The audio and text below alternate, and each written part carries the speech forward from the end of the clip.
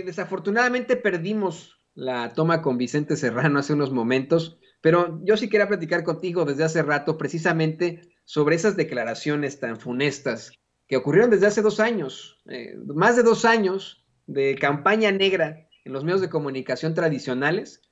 tratando de convencer al público de México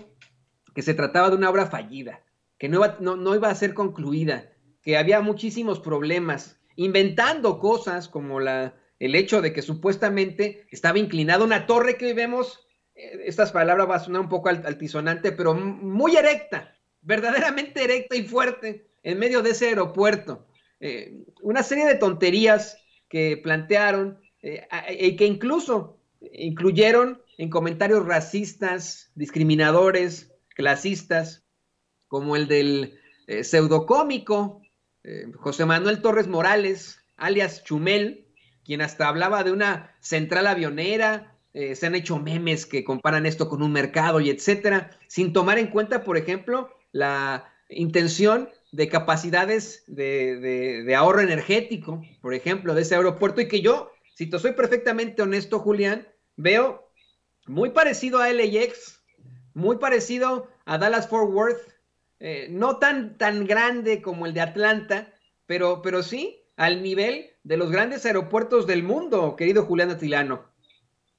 Así es, o muy parecido al de Heathrow en Reino Unido, en Londres. Eh, mira, eh, ha sido pues verdaderamente lamentable eh, la postura de la, de la oposición. Ahorita están muy callados. Si uno se pone a ver las redes, no sabe ni qué decir ante los hechos. Así se calla la oposición, Toño, se calla con los hechos, se calla con el trabajo. Se acaba de inaugurar un proyecto el día,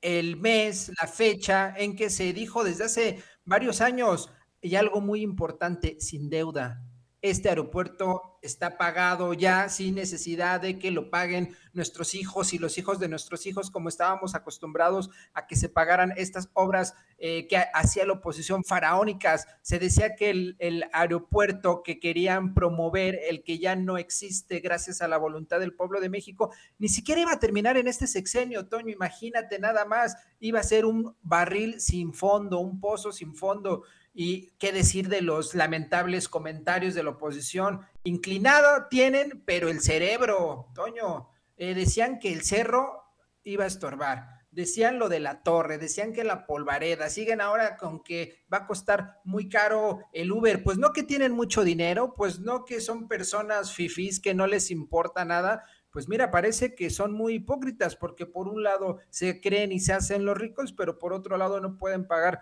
200, 250 pesos del Uber. Y hay que decirlo, al aeropuerto se puede llegar de muchas formas, hay servicio de transporte público y además algo muy importante, Toño, que hoy dijo el presidente. Este aeropuerto viene a complementar la red de aeropuertos, sí, sí del país, pero sobre todo del Valle de México. Y hay lugares que antes les quedaba muy lejos el aeropuerto Benito Juárez y que ahora les queda muy cerca, como toda el área de Ecatepec, por ejemplo, quienes tengan la oportunidad de viajar en avión, pues les va a quedar a media hora, ¿no? Entonces, repito, es un día negro para la oposición, no van a olvidar este 21 de marzo de 2022